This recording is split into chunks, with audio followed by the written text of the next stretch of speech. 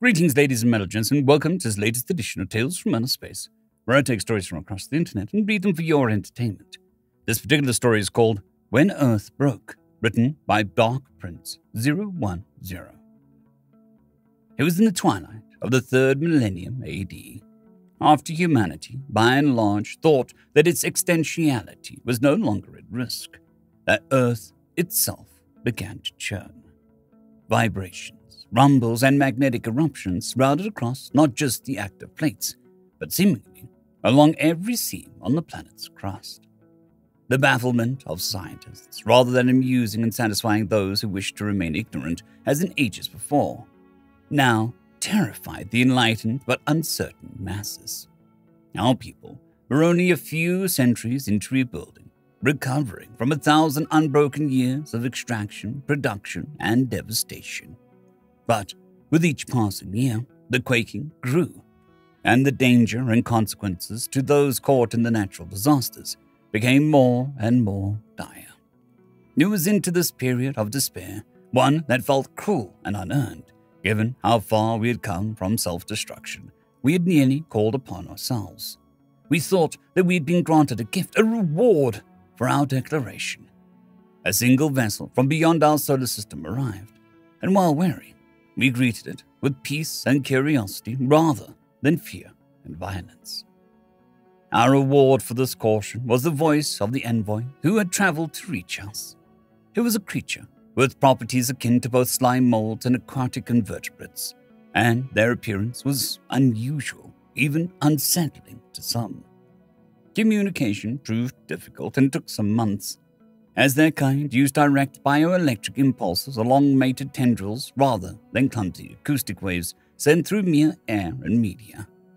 But with patience and urgency in equal measure, we managed to bridge the gap of communication and learned that the creatures called itself gateway or portal, depending on the interpretation of specific impulse signatures. They said they traveled from a star cluster near the edge of the universe, a system some billions of years older than ours. We hoped they had wisdom to offer, and our hopes were revived when Gates spoke of a bubbling, crackling, and quaking that had occurred on their home planet nearly a quarter of a million years prior. But rather than offering news or hope, they revealed a doomed prophecy. For within our planet, what we thought we knew of our composition beneath Earth's surface was wrong. There was heat, but it was not just that of pressure and friction. It was the heat of xenobiological processes. There was magma, but it was not mere rock and metal. It was lifeblood and yolk. There were strings of movement, but they were not just tectonic shifts or the spinning metal core. They were the stirrings of a creature older and larger than any being our planet had ever known. A creature beyond anything that we could ever imagine possible. Our world was not our own, but merely the shell of an egg that was beginning to hatch. Gate was apologetic for this news and said that after such a devastation nearly wiped out their kind, they had pledged themselves to travel to all such planets harboring intelligent species, to offer them a chance to escape before facing decimation and annihilation once the hatching began in earnest. We were told there were others. Others who had followed in their footsteps and fled, and others who had instead sought to beseech the entity within, hoping for salvation and power. But when we asked if any had tried to fight back, the question was regarded as impossible. It was like fighting a god to kill the unkillable and few they'd spoken to had dared to try. Instead, they had to watch helplessly as the titanic behemoths left to find new planets to seed and to doom any life that might emerge upon it in later eons. Well, I don't need to tell you that humanity is a bit more stubborn and creative when facing down a threat. We had risen to the occasion when our very biosphere was on the brink, clawing back a measure of habitability and growth and all hope had seemed lost before. So now we had a new unified threat, a new unified task to stand behind. Centuries before, humanity had stood firm against its own destruction, and now we began to devise how we could escape it once more. Gate was surprised at our willingness to stay and fight, but gladly offered whatever aid they could. Little by little, we dug deeper into the mystery that lay beneath our feet. Painstakingly, even with parts of our planet beginning to shake themselves into mere rubble, we made tiny slivers of headway. An international group of nations and space forces managed to develop a fleet of ships capable of evacuating as many as possible in advance of the inevitable destruction. Our methods of slowing or stopping the creature before Earth was consumed looked to have little chance of being ready in time. The fleet could fold a paltry amount, less than half the population, with the lucky chosen by lottery for the most part. The gate was still astounded and congratulated us, as his own species had been decimated to less than one in a hundred individuals, making it off their planet cracked and burned. But still, we tried, we searched, we looked, even as the ships began to load and fly off world. Small possibilities, ideas, experiments. A mismatch that showed some promise, but no more. And still, the Earth continued to break.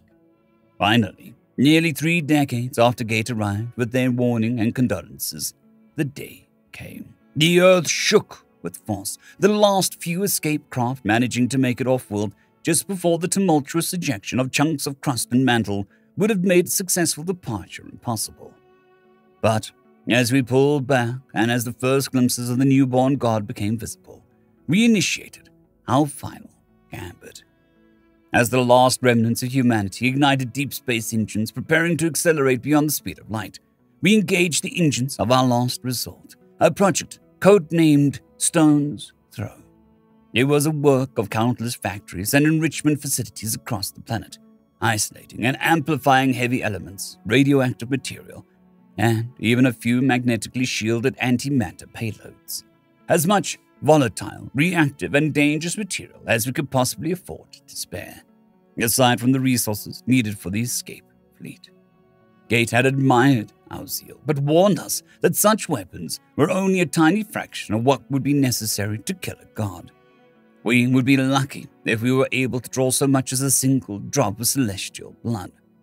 They warned us that their own kind had done similarly. Every weapon and explosive, every railgun and mass driver were targeted on a single point. And all they produced was a single city sized drop of ichor before the sting angered their god, and the offending weapon arrays were wiped out along with nearly half of their initial survivors. We thanked them for their input, but continued on with another goal in mind as the array of armaments had been placed in a bunker drilled several kilometers below the surface of our own moon. On the other end of the soon to be orphan planetoid, we built hundreds of engines, enormous brethren to those powering our fleet of escaping ships. As the fleet jumped, our final observer probes were activated, relaying images of our burned and dead planet flaking away from the slowly but inevitably uncurling mass within. Gate again commented that placing such weaponry within the mass of an object like the moon was an ingenious improvement, but still not likely to do more than anger the godling, as their people had discovered before. Humanity paid them polite but little heed as we engaged the moon and began flying it in the direction of the slowly shifting shape. The fleet had just arrived at the regrouping point outside of our Oort cloud, a safety point to allow time for the full charge needed to leap to a habitable systems we had identified as a possible replacement home. But as we watched the probe's broadcasts of the moon hurtling towards some possibly huge eldritch shape, the moon soared past, missing an outstretched continental tentacle by a few hundred thousand miles. Gate, for their part, was surprised and apologetic to the extreme, as they understood that turning such a massive projectile would be almost impossible to observing leaders and scientists. They said sorrowfully, It was the worst of lucks that you missed.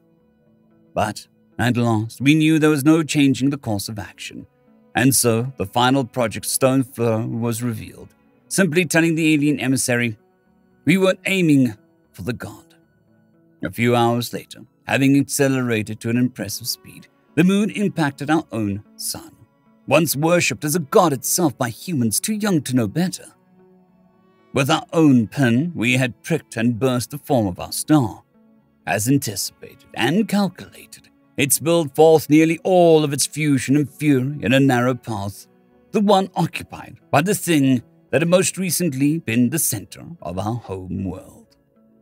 But creatures of that scale do not move quickly, not nearly quickly enough. It resisted for an hour, burned for a second hour, and began to die by the third. By the time our probes had become too damaged to transmit a signal any longer, it was clear that the god was now little more than burnt scraps of titanic dead flesh. In the days to come, Gate would depart with their craft, heading back to their refugee fleet, so that a new message could be spread amongst their people, a message of hope, not as a god that killed their world, but as a world that killed their god. Of humanity, the first god slayers. End of story. I'd quickly like to thank the T5 peeps Cold War Boomerwaffen, Severin Cerberus, Bushmaster 177, Henry the Red, Caspar Arnholtz, Cold War Boomerwaffen, Elijah Silvercross, Dragzoon WRE, and Severin Cerberus. Thank you very much.